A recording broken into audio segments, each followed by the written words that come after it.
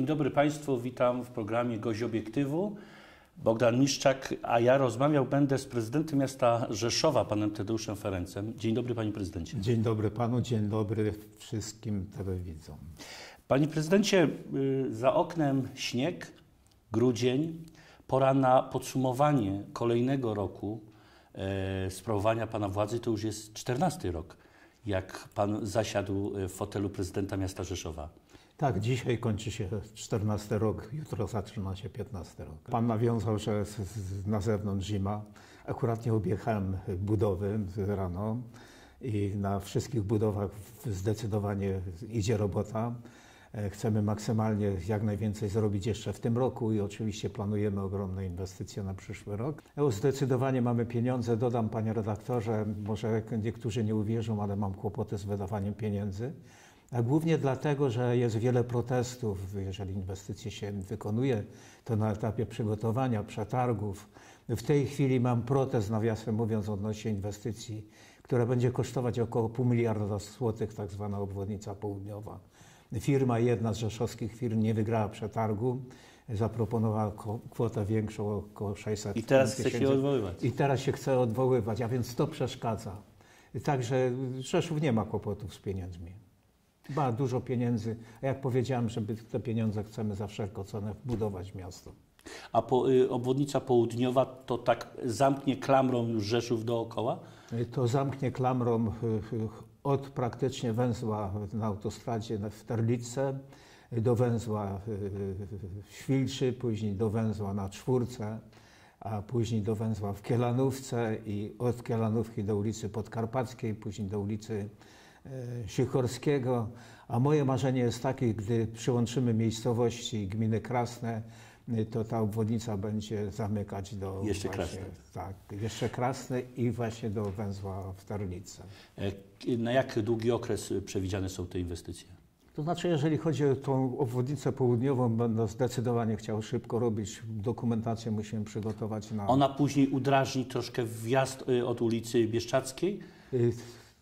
To znaczy oczywiście y, obok Bieszczadzkiej przez ulicę Jarową, ale głównie od ulicy, od węzła, jak powiedziałem, w Kielanówce, do ulicy Podkarpackiej i do ulicy Sikorskiego, przez ulicę Jana Pawła, przez ulicę Chmielną, Herbową, y, przez rzekę Strug z mostem, duży most na zaporze, około 850 metrów. Potężna inwestycja.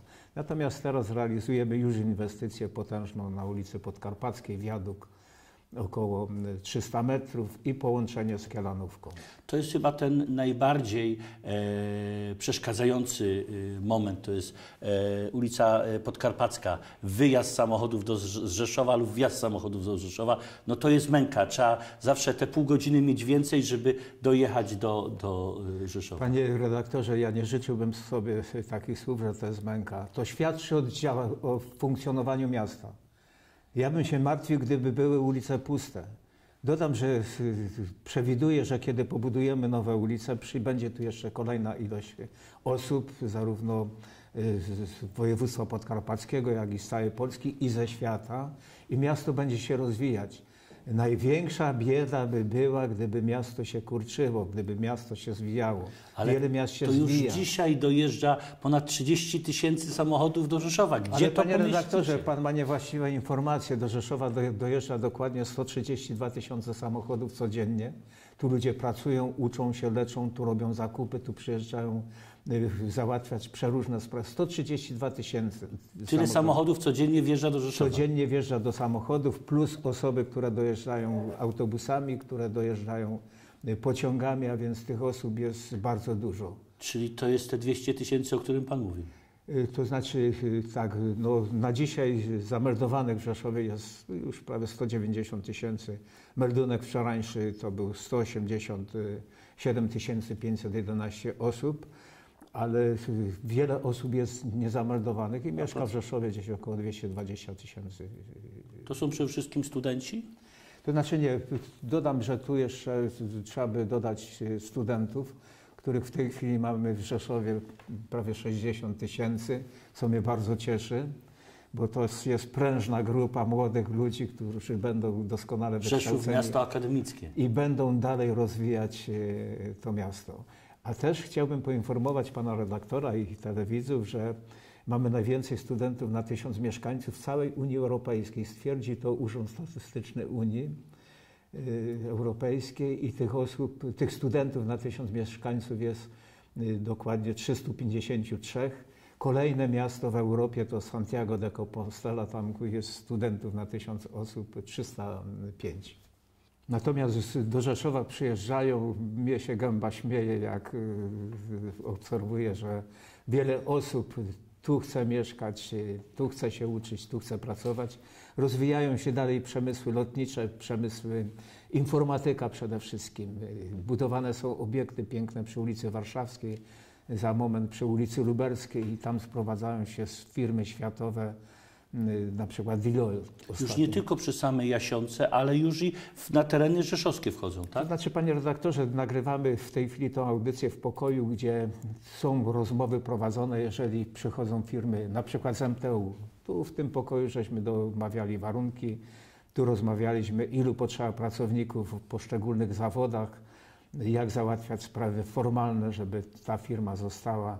I powiem szczerze, jestem bardzo fir- wdzięczny firmie MTU, że y, pobudowała tu zakład jeden, kończy drugi zakład, a więc rozwija się i ona ściągała y, firmy z całego świata. Panie prezydencie, mówi pan, ja potrzebuję ludzi i przestrzeni do realizacji swoich planów. Tak, no o ludziach, o ludziach przed chwilą żeśmy mówili, A a, pan redaktor pewno mówi o rozszerzeniu granic miasta Rzeszowa. Panie redaktorze, szanowni państwo, miasto Rzeszów prawa miejskie otrzymało w 1354 roku, dokładnie 19 stycznia. I powierzchnia tego miasta była półtora kilometra. Oczywiście ludzi to nie mamy statystyk, ile wówczas było. I przez 660 lat to miasto się rozwinęło do powierzchni 53 km 360 metrów kwadratowych, a od roku 2006 do roku 2017 już powiem, bo wchodzi kolejna miejscowość Bianka, przybyło 70 kilometrów. A więc całe stulecia 53 ponad kilometry, a tu ponad 70 kilometrów przybyło właśnie powierzchni do Rzeszowa i na dzisiaj, to znaczy od 1 stycznia będziemy mieli powierzchnię y, 120 kilometrów kwadratowych. I na tej przestrzeni budowane są osiedla, budowana jest infrastruktura podziemna, infrastruktura nadziemna, szkoły, przepiękne szkoły, na przykład przy ulicy Karoliny Kuski, y, na terenie Przybyszówki, Żłobki, y, domy kultury, to wszystko, co potrzeba y, do zamieszkania. I jak spotykam się z mieszkańcami właśnie między innymi tej dzielnicy, to zadowoleni są, że tam mieszkają. Ostatnio otrzymał Pan e, wyróżnienie, jeżeli ja czytam, miasto udowodniło, że jest wzorem doskonałości, który inspiruje i służy jako model do prowadzenia i stymulowania dalszego rozwoju inicjatywy zrównoważonej mobilności w Europie. E, To jest przyznane przez e, Civitas. Jakim tym wzorem doskonałości jest Rzeszów i Pan Prezydent? To znaczy powiem y, panu redaktorowi i państwu szczerze, że mnie ciągle mało. Otrzymujemy wiele nagród, ale y, oczywiście te nagrody cieszą. Z tym, że kiedy jestem w świecie, kiedy oglądam inne miasta, to człowiek pokornieje.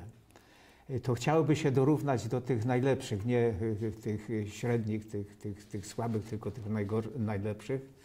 A więc y, oczywiście cieszy ta nagroda. Jest to nagroda Kolejna. europejska, kolejna nagroda.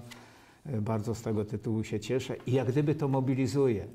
Również powiem, że mm, bezwzględnie podglądamy świat. Y, Korzystamy od, z myśli naukowców, ale korzystamy też często z myśli czasem studentów, bezpośrednich osób takich, które mają jakieś tam pomysły i chcemy to za wszelką cenę wbudować w nasze miasto Rzeszów. Rzeszów i Ferenc to nie kojarzy się tylko ze współpracą y, z miastami w Polsce, ale przede wszystkim ze współpracą międzynarodową. E, Stale jeździ Pan i jak to Pan sam stwierdzi, podglądał, jak robią to gdzie indziej, żeby przenieść to do Rzeszowa, prawda? Y, Przyznam się panu redaktorowi, że tak umiarkowanie jeżdżę, bo wiem, że jestem cały czas sprawdzany, czy jeżdżę tylko gdzieś tam po świecie, ale jeżdżą i moi zastępcy. Dla przykładu teraz pan prezydent Ustrobiński był, miał pana w Budapeszcie odnośnie innowacji, pan Sieńko w Barcelonie. Panel mamy w poniedziałek w Ministerstwie w Warszawie, spotkanie w Ministerstwie e, Rozwoju odnośnie kolejnych pieniędzy na kolejne inwestycje z pieniędzy unijnych. Dodam, że mamy dwie- 12 miast partnerskich, e, między innymi w Chinach, e, w Stanach Zjednoczonych. e, Po podpisaniu umowy z miastem Fanchengang w Chinach natychmiast poleciłem uczenia języka Właśnie chińskiego w pokłosie tej wizyty. W tej chwili w szkołach średnich i na Jak uczelni. młodzi to przyjmują? Doskonale. Skupienie, byłem na kilku lekcjach, skupienie tych dzieci patrzą w tą panią nauczycielkę i, i Mamy chętnie kim uczyć? Proszę. Mamy kim uczyć? No więc studentki chińskie uczą. Koszty są bardzo minimalne, ale zainteresowanie jest przeogromne. Także no, coś nowego chcieliśmy. A przecież Chiny to potęga gospodarcza i na pewno... Chiny to też partner y, Rzeszowa? Y, Fanchengang jest miastem partnerskim. Nawiasem mówiąc, kiedy byłem w tym mieście, to zachwycony, bo w ciągu 20 lat powstało miasto, y, które po 20 latach liczyło 900 tysięcy mieszkańców. Panie prezydencie, y, w Polsce toczy się teraz duża dyskusja na temat reformy szkolnictwa. Jak Rzeszów jest przygotowany do reformy? Czy pan wie, na czym będzie polegała ta reforma i czy pan jest do tego przygotowany? Słyszymy z ust pani minister, że samorządy są do tego przygotowane i wiedzą, co mają zrobić. Proszę pan pa- wie? Panie redaktorze, szanowni państwo, ja jestem zawsze wychowany w dyscyplinie, decyduje rząd. Jest większość w Sejmie, wcale nie myślę tego krytykować, chociaż słucham oczywiście dyskusji, krytyk. Natomiast y, moim zmartwieniem jest, żeby żaden nauczyciel nie stracił pracy i przewiduję, że żaden nie straci, wprost przeciwnie, będziemy przyjmować, bo budujemy nowe szkoły. Rozbudowujemy, budujemy nową szkołę. Budujemy nową szkołę, bo się miasto powiększa, czy y, 500 plus zadziałało i mamy więcej dzieci? Mamy, to znaczy nie, jeszcze nie ma tych dzieci do szkół y, za wcześno. Nie ma takiej metody, żeby przyspieszyć. Y, Ale budujemy, bo miasto się rozrasta, bo jest y, no, dużo młodych osób i to naturalne, że są I chcą mieszkać w Rzeszowie. Tak, i dla przykładu na Wilkowej rozbudowujemy, budujemy szkołę nową y, wspólnie z PR-ami. Na Białej rozbudowujemy, na Budziwoju będziemy roz, rozbudowywać szkołę. A więc kolejne obiekty oświaty. Czy i- ta zmiana z gimnazjum na 8 klas, jak ją pan ocenia? Czy to... Nie, nie będę oceniał, natomiast Kończyliśmy będziemy, te szkoły, więc będziemy wiemy. zdecydowanie y, chcieli, żeby ci ludzie, którzy pracują w tej chwili w szkołach, mieli pracę, nawet jak powiedziałem, przyjmiemy jeszcze do pracy w edukacji kolejne osoby, natomiast te osoby muszą się przekwalifikować. Nie dyskutuję nad decyzjami rządu. Przyjmuje je pan do realizacji? Y, Rząd ma prawo rządzić, widzi politykę przyszłościową. Ja jestem od tego, żeby podejmować decyzje. A jak współpracuje się e, z rządem? Powiem doskonale. Doskonale spotykamy się bardzo często. No, kolejne spotkanie w poniedziałek e, w Ministerstwie Rozwoju. Będziemy mówili o pieniądzach. Widzą rozwój Rzeszowa w ministerstwie? Jesteśmy w programie elektryfikacji transportu. Kiedyś była elektryfikacja wsi, teraz elektryfikacja transportu. Jest to, mm, panie redaktorze, program pana y, premiera Morawieckiego. Włączamy się do tego programu. E, Chcemy, y, w przyszłym roku zakupimy 10 autobusów elektrycznych, przygotowanie odpowiedniej infrastruktury pod y, doładowanie tych autobusów, a w, w kolejności następnej to 100 elektrycznych autobusów napędzanych energią elektryczną. Autobusy wyprodukowane w autosanie? To znaczy chciałbym, żeby przetargi wygrywały zdecydowanie firmy polskie. Polskie. Firmy polskie, a tak bliskim jest Sanok. E, Panie prezydencie, i na koniec, y, jak pan podsumowuje ten rok, albo jak pan podsumowuje te 14 lat? No Bo właśnie. to tak trudno podsumować jeden rok, skoro każdy rok to jest kolejna, kolejny etap. To znaczy może tak, zacznę od y, mieszkańców. Przybyło nam około 35 tysięcy mieszkańców, a więc niemałe miasteczko. E, Przybyło nam terenu, jak powiedziałem, 70 kilometrów. Budżet miasta, kiedy y, nastałem tu w roku 2002, wynosił 370 milionów. Na rok 2017 ten budżet y, planujemy miliard 360 milionów. I skąd się znalazła kwota miliarda złotych? Bardzo mnie cieszy to, że ludzie chwalą się Rzeszowem, że są dumni z Rzeszowa, że utrzymują doskonałą czystość, że właściciele kamienic odnawiają budynki, że jest wysoki poziom nauczania, że uniwersytet, politechnika, uczelnie prywatne się rozwijają.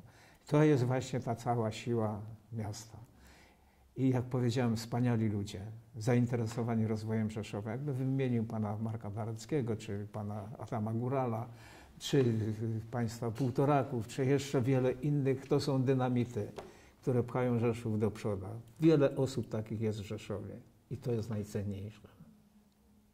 E, Panie prezydencie, na koniec, e, e, jaki przyszły budżet? Co możemy się spodziewać? E, e, Macie na tyle pieniędzy, żeby, że czekacie na, e, kiedy ruszą programy z RPO, z innych wniosków? Bo przede wszystkim wszyscy samorządowcy mówią, niech wreszcie ruszą te, te, te, te programy. To znaczy mówiłem już, ja przewiduję, chociaż to wszystko leci bardzo szybko, tak ucieka czas, że trudno dogonić. I myśmy budowali w ostatniej perspektywie 3 miliardy 900 milionów złotych w Rzeszów został budowany, a więc ogromna kwota. I chciałbym, żeby w tej perspektywie również taka kwota była zbudowana i największa inwestycja, którą planuję w tej chwili to właśnie obwodnica południowa, ale realizowane są na przykład ulica Sikorskiego do Tyczyna, ulica od Podkarpackiej do e, węzła w Kielanówce. A S19, które To znaczy, to w tej chwili mówię o to S19, bo S19 to robi dyrekcja drugi autostrad. ono też pomoże w rozwojowi Rzeszowa? Zdecydowanie, zdecydowanie. To każdy układ komunikacyjny to jest napęd do rozwoju, bezwzględnie.